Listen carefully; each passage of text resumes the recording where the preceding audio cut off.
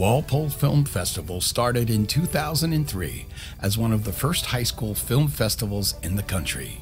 The program has been recognized nationally as a model for creativity and collaboration in the classroom. Students in the program are required to follow each step in modern independent digital filmmaking. This includes screenwriting, acting, art direction, shooting on digital cameras, editing on professional software, and composing original music. The festival culminates each year with a red carpet ceremony that celebrates the achievements of each crew. To learn more about this year's Walpole Film Festival and how to become a sponsor, please visit our website, walpolefilmfestival.com. Thank you and enjoy the movie. So you go to your settings, Okay. you click battery, and you scroll down to battery usage. And if you click the clock, you can see how much time you spend on each app. So last seven days. Yes. Oh, 7.3 hours. Yikes.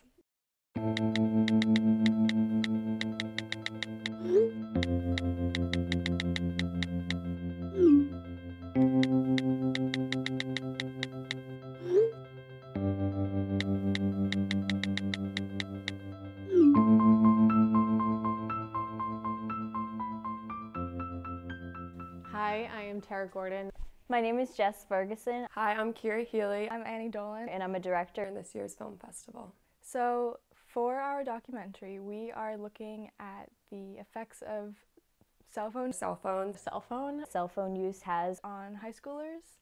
And within our documentary, we are doing a social experiment on ourselves our crew is going 30 days without using our cell phones. from January 31st to March 1st. This is a great opportunity for us to look at what we've discovered about cell phones and actually put it to the test. We put all of our phones, there's four of us, and we put our phones in a locked briefcase. And so basically, we're not going to see our phones for the next 30 days. As directors, we're invested in this experiment to see, as teenagers ourselves, the effects that not having it and having it have on our lives. We talk about the overusage of phones a lot in society, but at the same time, nothing's changing. Like it's still, we still use it more and more every day. So I don't think it's talked about enough. I think that through doing this, we could kind of shed light on this issue. And we probably, people aren't going to stop using their phones, but maybe they'll kind of see the issue and work to almost better their own lives.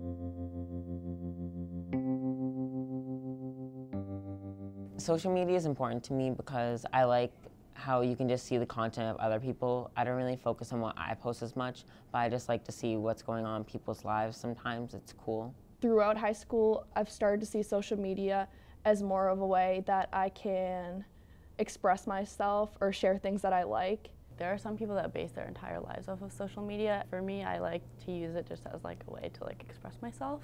I like people knowing like something, like little things about my life that like I trust. Okay, I use Snapchat the most. Yeah, it's uh, Snapchat. All right, so the first one's Snapchat. Yeah, Snapchat. Snapchat. Snapchat. Yeah, Snapchat.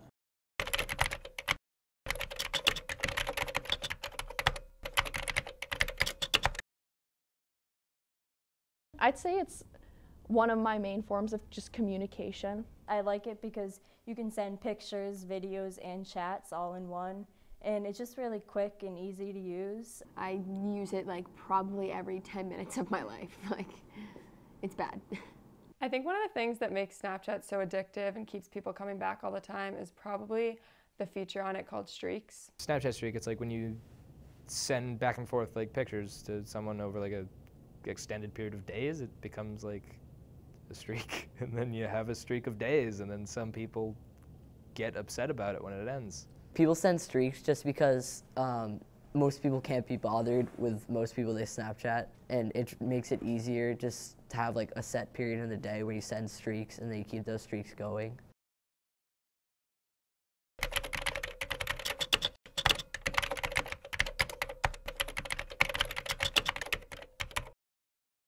It's a bottomless feed. If you scroll on Instagram, you can scroll and you can scroll and you scroll and it, it doesn't stop. And that keeps you coming back. So I think Instagram's a very impersonal way of expressing yourself. But like there's another feature of Instagram, a lot of people will make a second account and they call it their Finsta and it's just where they post a lot more personal information about themselves. So basically, a Finsta is an account on Instagram which we, you use to post all the things which you would never at all remotely want to post on your real account, your Rinsta. Like it is more of like a diary, like a modern diary. If you follow someone's Finsta, you probably know a lot more about what's going on in their day-to-day life. On their Rinsta, they'll post more like edited photos. Everyone wants to look like they're having fun on Rinsta. Are they really having fun? I don't know. Look at their Finsta for that. I've had social media in the past, but I always find myself deleting it.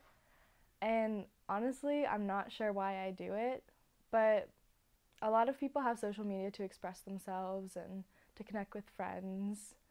But I just I just don't find all the positives that people do for some reason. One of the young women that I spoke with I tell her story in the introduction, and the reason why I, I did is because she articulated something that I heard from just about everybody in some way, but she did it in this really succinct way. And so, what was interesting about her was she sort of had the perfect life on her college campus. All she talked about in her interview was how bad social media made her feel. And she said, you know, even though she knew, like, and I heard this from so many students, everybody's lying, everybody's only putting their best pictures up, like, it's not real, it's so fake. Like, everyone felt like, people only put up their most beautiful pictures, like their most amazing experiences. Like you never hear the downside. So she said, even though I know that that's all people are doing, and that's all I do, um, whenever I go online, it's like the worst version of me versus the best version of everyone else. I think a lot of people are bothered by the Instagram models and like what people look like on Instagram and how they portray their lives to be so perfect. And I think that that kind of makes you feel bad about yourself and second guess everything that you're doing. People just take out their phone whenever to take a video of something. When something even like remotely interesting, they'll take out their phone and record it on Snapchat. I like being connected with all my friends because if I wasn't on Snapchat, I would feel like I would like never see them. Every day, um, I at least do one like, hey, here are all my streaks. Got to get that out of the way. I put an avocado emoji in front of all of them so I could basically take one picture a day and send it to maintain the streak with everyone. A year or two ago, I remember going on a vacation and I would give my Snapchat password to one of my friends to make sure I kept my streaks. I had about 62 Snapchat streaks. I didn't think it stressed me out. Now that I don't have those streaks anymore, I could tell that it actually did stress me out, just even a little bit. I'll get like texts from my friends not on Snapchat, like saying like answer the streak, we have the hourglass, and then I go right on and answer. I think some people definitely um, see, look at their followers or say how many Snapchat streaks they have, things like that, and use that as a reflection on how popular they are and how many friends they have. I am with my friends and we like do our makeup and get dressed up in a certain way and take like 400 pictures just for one Instagram and then um, I spend like a good amount of time on VSCO editing it. You don't want to look bad on your Instagram for other people because you want people to think like you're hot. I think one of the strangest things about Instagram, and I feel like we've all been guilty of this at some point, whether it was in middle school or now, like a lot of people will take a picture and they'll blur out their acne or they're whiten their teeth because God forbid they put a not perfect picture on Instagram. Like when I came into high school when I was a freshman, I'd post things to get likes on Instagram. I think everyone has had some point where they post something because they, they want to get likes on Instagram. I typically post at night, like 8 o'clock, 9 o'clock. I do that just because like I know that is a popular time. Even my friends will be like, I only got like, oh, like 500 likes. Oh, I have to delete it. Whether whether it is sort of subconsciously or not, I think I think a lot more people compare themselves to how other people are doing on social media than are willing to perhaps admit it. I mean, I think people attempt to feel, you know, appear happy because they want everybody to think their life is great or because, you know, everyone is, you know, a, a lot of the students talked about how social media, you know, like Facebook and Instagram, it's like a, it's like a success competition. You know, everybody's competing. It's a popularity competition. It's like you're showing off like look at my like new clothes, like look at my new car, like look at my new vacation. A lot of people definitely are obsessed with how many likes they get or like how many views and uh, you know they get jealous of other people who have more likes or views and stuff like that there's a way in which everyone I spoke with was talking about how hard they're working to master an, a happy image. Like they're working really hard to manipulate their images online so they appear happy. Well, what happens to your real life when, you know, there's this kind of disconnect between all this appearing happy and witnessing so much happiness all the time and then like here you are in your life and you're like in your sweatpants and, you know, you've like just rolled out of bed and everybody's looking so glamorous.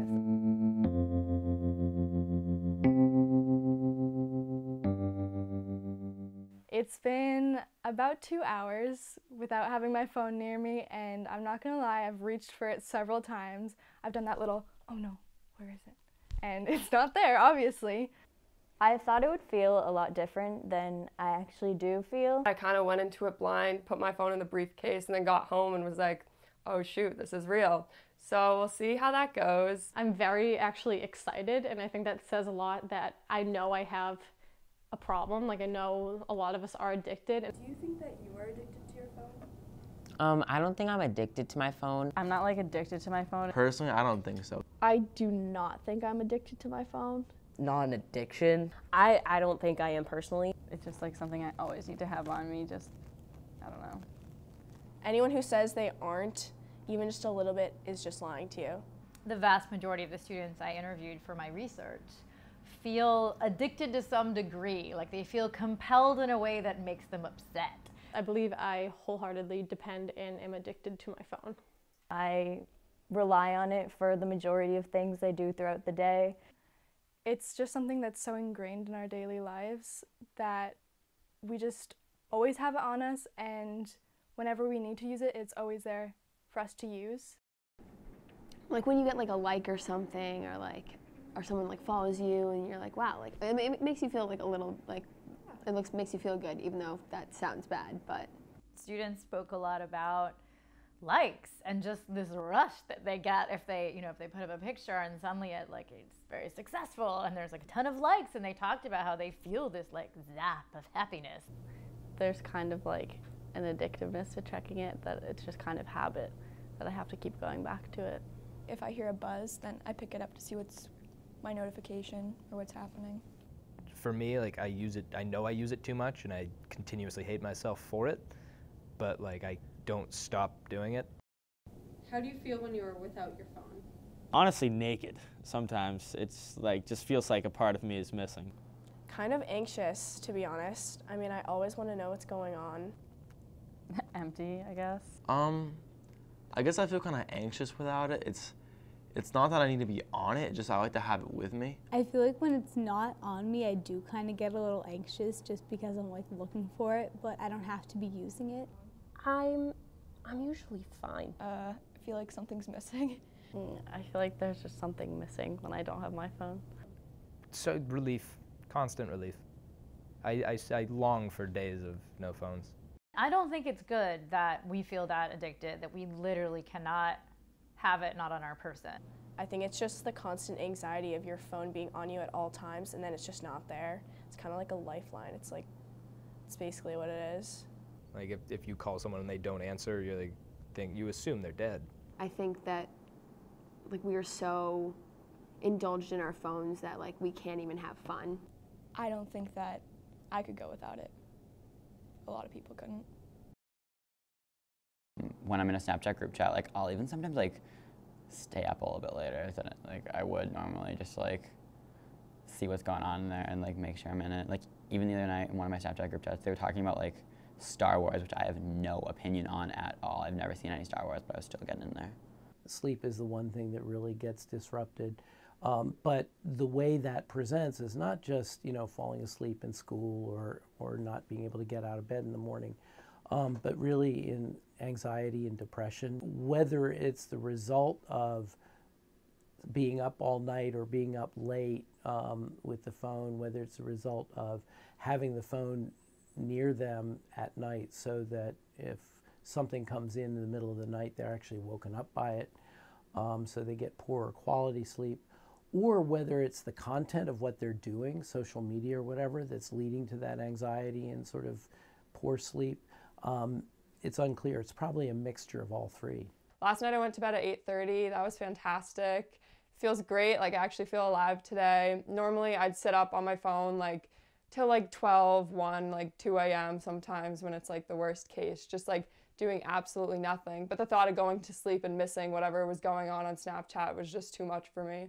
So basically, FOMO is the acronym fear of missing out.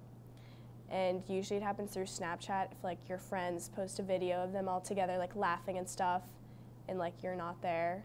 It just kind of sucks. I mean, to be honest. Like last year, like if I like wasn't able to go out or I had work or something, and then I'd get home and be like on my phone, you know, up, updating myself on what happened. I'd like sit there and be like, oh, like I wish I was there.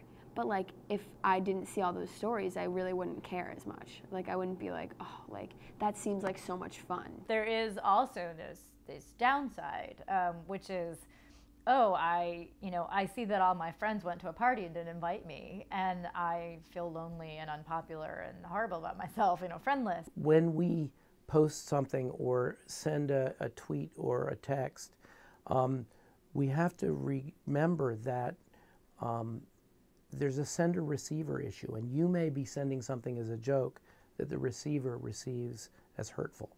And so I think that we need to just really be thoughtful about how we are changed and how those around us are changed by the media we use and how we use them. And it's kind of made me more judgmental. Like having an Instagram, having all the social media, like it gives so many other people access to your life and they think like they know you and stuff and then you think that you need to keep up this like persona of who you are online like it's it's just kind of sad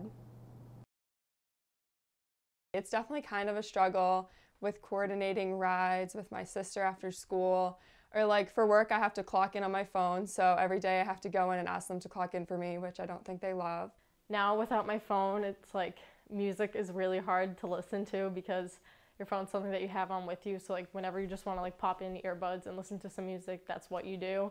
And since that's not there, I have to carry around a 2007 iPod Shuffle that's bright pink. Earlier this week, we went to Boston Children's Hospital to interview a specialist, and we couldn't use our phones to navigate our way there, so we had to print out the directions on MapQuest. And it ended up taking us this strange, out of the way route that took over an hour when it should have taken like 35 minutes. I think my parents have definitely noticed a difference, and I've kind of noticed it too that I'm definitely like 10 times more talkative than like I was before. Last weekend, I went on a road trip to Pennsylvania with my mom, and that was like a seven hour drive. But it was kind of nice just sitting there. We were we chatted a lot. We listened to some podcasts and audiobooks. And normally I'd be sitting, headphones in, like completely zoned in on whatever's on my phone, Snapchatting, just like wasting away the seven hours. But it was kind of nice being able to like sit and chat. She'd probably be talking to me the whole time, and I just like wouldn't respond because I just kind of would want to tune her out and be on my phone or like listen to headphones. She even said how like different it was just sitting at meals with me. I'm not like constantly like trying to check what's on my phone. So that was definitely nice. If I had to answer in a global way what the most detrimental effect is, it would be that it reduces our connectedness with each other in deep ways. And we substitute being on social media for being really together. I think we lost a lot when friend became a verb. And these are not friends that you can reach out to in the middle of the night and cry on the shoulder of. And we need to really think about what is meaningful to us and what really sustains us. Um, and it's not the marketing of self that happens on social media. It's it's the connections with people who love you for who you are, warts and all. Most of the time, if they're walking down the hall and they're just their time is unoccupied, they're on their phone, you know, just looking, scrolling through something, what, what have you. Um, and I, you definitely notice it in the cafeteria. You, you notice it when when students actually have an opportunity to speak to each other. Sometimes they do, sometimes they don't. We have allowed this amazing tool, um, which gives us incredible connectivity, to actually reduce our connectedness with each other, to come between us. um, and really interfere with the kind of meaningful connectedness um, we can have if we essentially take the risk of intimacy that this protects us from. There's no more small talk because everybody knows what's going on in everyone's life because they're looking at what's going on all the time, and so no one knows what to say. Like I noticed that some of my friends can't hold a conversation like just back and forth for like more than a minute because they don't know how to talk without their phone. When I'm with my friends, half the time they're just like on Twitter or just like, and it's like I haven't seen you all week. Just talk to me. Just love me. You can't get on a bus or a train or in an elevator without people pulling out their phones because God forbid they actually look at you or say hello or connect with you. I'd say there's a lot of anger um, in terms of feeling like we have to be available 24 7 now, that there's a kind of I hear a lot of studi- students in my study talk about how it's as if we're all surgeons, you know, like we're all on call now. You have people that you just don't want to talk to, and it's harder to like filter those people out as much as you could on like talking to them because they can just communicate with you anytime. Even if it's your best friend or your boyfriend or your girlfriend or whoever it may be, you do need time away from each other. Because if they're with each other through phone or not all the time, it it's just bound to create some tension of some sort. Ultimately, we need each other to survive. We need each other to move forward. And um, if we are substituting, you know, posts on our Facebook page for really connecting with each other, we are voluntarily giving up perhaps the most meaningful parts of our lives.